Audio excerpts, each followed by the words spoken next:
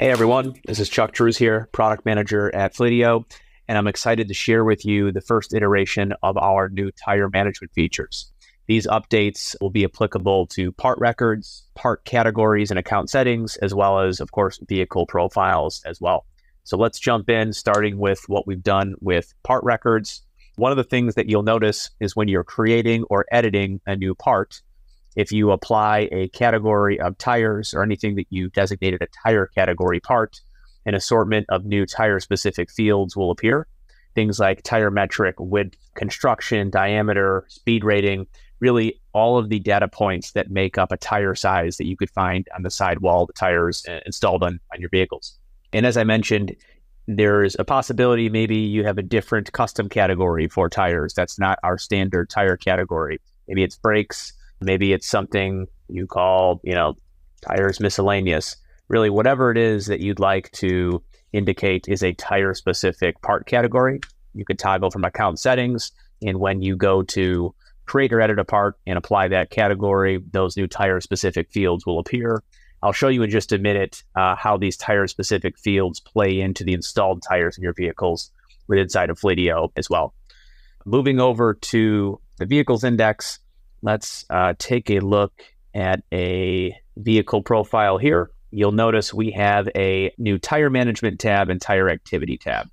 The tire management tab is where you can set the axle configuration and install tires on uh, individual vehicles. So we need to know the axle configuration in order to understand how many total tire positions you have.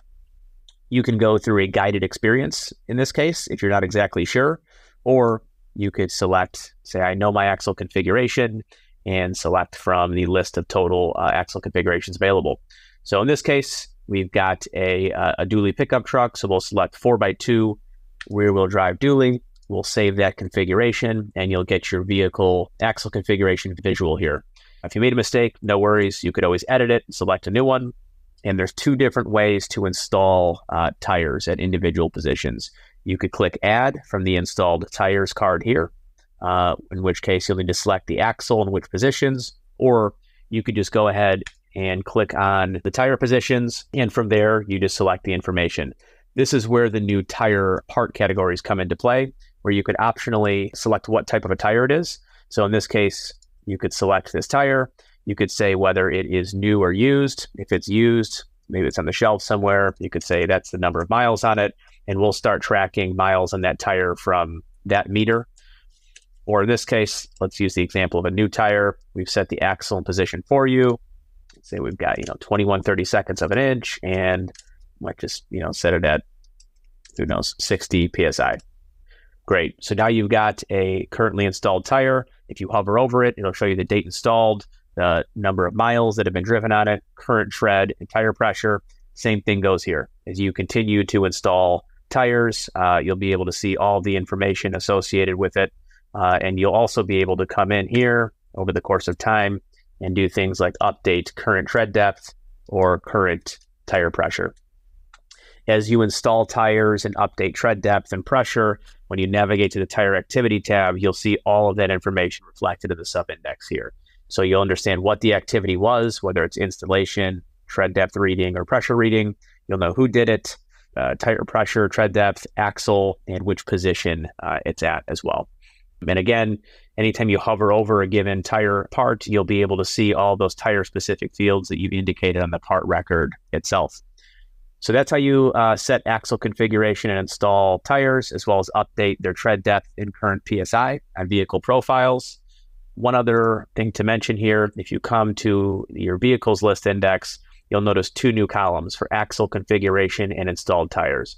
So we wanted to make it a little bit easier for you to uh, set axle configuration for vehicles in bulk based on what you know about them.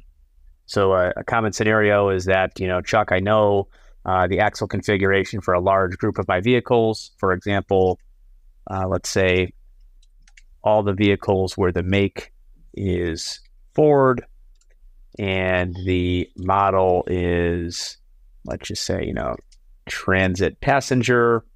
I know these are all four by two single rear wheel vehicles. So in this case, you could select all, click to update vehicle, choose axle configuration, choose four by two rear wheel drive, continue to review, and you'll have all of your axle configurations updated in bulk so that when you go back to install tires, it's already set there for you. Uh, additionally, you'll be able to see the number of installed tires on any given vehicle. So if you wanted to go through and see, okay, which one of my vehicles with an axle configuration set but no installed tires, this is kind of your hit list for for action to take yeah, I'm excited for you all to take advantage of these features. This is what we have to offer you for the first iteration of our tire management features. Look out for much more improvement to come on this feature set in the very near future here. Thanks.